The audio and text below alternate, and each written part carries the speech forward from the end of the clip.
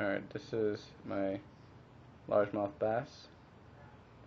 Um, pretty sure it's not that he's alive, but it's more of a nerve thing. Um, he's, it's been about three hours since I've taken him out the water, maybe a little bit more. I uh, kept him on ice water, and I just took him home.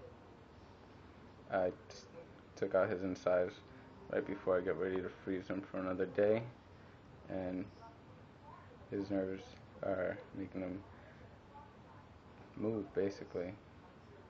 Twitch. Remember it's not that he's alive. It's their nerves making the body move. Goodbye fishy